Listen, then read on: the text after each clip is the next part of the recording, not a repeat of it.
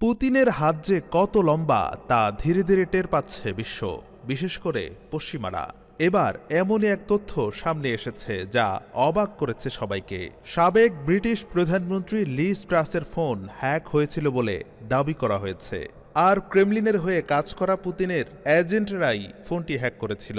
এমন দাবি পুতিন বা পুতিন ঘনিষ্ঠ কেউ করেনি। রুশ প্রেসিডেন্ট ভ্লাদিমির পুতিনের এজেন্টরা সাবেক ব্রিটিশ প্রধানমন্ত্রী লি স্ট্রাসের ব্যক্তিগত ফোন হ্যাক করার এমন দাবি করেছে ব্রিটিশ সংবাদ মাধ্যম ডেইলি মেইলের প্রতিবেদনেই। ক্ষমতাসীন কনজারভেটিভ পার্টির নেতৃত্ব নির্বাচনের প্রচার পর্বের সময় ফোনটি হ্যাক করা হয়। এই ঘটনায় তদন্ত করতে দেশটির সরকারকে আহ্বান জানানো হয়েছে। প্রতিবেদনে বলা হয়, ইউক্রেন যুদ্ধসহ বিদেশি কর্মকর্তাদের সাথে আদান প্রদান করা ব্যক্তিগত বার্তা হ্যাকারদের হাতে চলে গেছে। গত গ্রীষ্মকালীন সময়ে বিষয়টি জানা গেলেও এতদিন ধামাচাপা দেওয়া হয়েছিল। কারণ এমন উচ্চ পর্যায়ের ব্যক্তিদের গোপন তথ্য যখন পুতিনের কাছে চলে যায়, তাহলে আর গোপন থাকেই বাকি।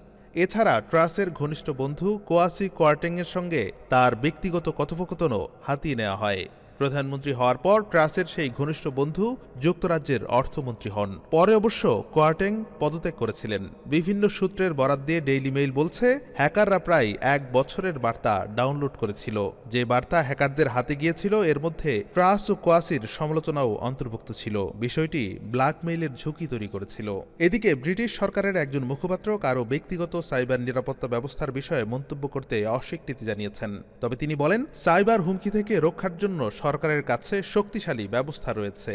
এসব ব্যবস্থার মধ্যে রয়েছে মন্ত্রীদের জন্য নিয়মিত নিরাপত্তা ব্রিফিং, তাদের ব্যক্তিগত তথ্য রক্ষা ও সাইবার হুমকি প্রশমন সংক্রান্ত পরামর্শ প্রদান।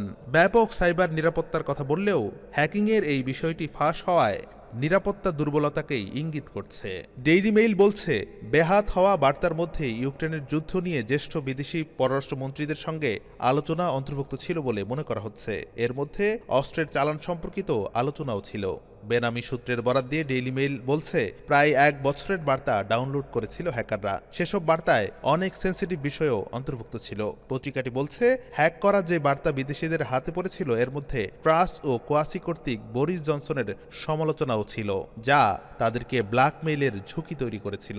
আসলে ব্রিটেনের সাম্প্রতিক রাজনীতিতে যেই টালমাটাল অবস্থা বিরাজ করছে, তাতে রাশিয়ার হাত থাকার দাবিকে আরও সত্য প্রমাণিত করল এই হ্যাকিংয়ের ঘটনা। কারণ নিজ দলের মধ্যে মধ্যে প্রভাব হারিয়ে একের পর এক ব্রিটেনের ক্ষমতা থেকে বিদায় নিয়েছেন দেশটির প্রধানমন্ত্রীরা। এ কারণেই প্রশ্ন তৈরি হয়েছে, তাহলে কি ব্রিটেনের ক্ষমতাসীন দলের মধ্যে কৌশলে বিভেদ তৈরি করেছে রাশিয়া? লিস্ট্রাসের ফোন হ্যাকিংয়ের মতো বিষয়গুলো দিয়ে কি কোনোভাবে ব্ল্যাকমেইল করা হয়েছে? এই ঘটনা এমনই আরও অনেক প্রশ্নের জন্ম দিচ্ছে। ডেইলি মেইল বলছে, ট্রাসের ফোন হ্যাক হওয়ার বিষয়টি উদ্ঘাটিত হয়েছিল যুক্তরাজ্যের ক্ষমতাসীন কনজারভেটিভ পার্টির নেতৃত্ব নির্বাচনের প্রচার পর্বের সময়। প্রধানমন্ত্রীর পদ থেকে বরিস জনসনের পদত্যাগের ঘোষণার পরিপ্রেক্ষিতে কনজারভেটিভ পার্টির নেতৃত্বের লড়াইয়ে অবতীর্ণ হয়েছিলেন তৎকালীন পররাষ্ট্রমন্ত্রী লিস্ট্রাস পরে তিনি ঋষি সোনাককে হারিয়ে যুক্তরাজ্যের প্রধানমন্ত্রী হয়েছিলেন। যুক্তরাজ্যের অর্থনৈতিক সংকটের জেরে প্রধানমন্ত্রী হওয়ার মাত্র দেড় মাসের মাথায় ট্রাস পদত্যাগে বাধ্য হন।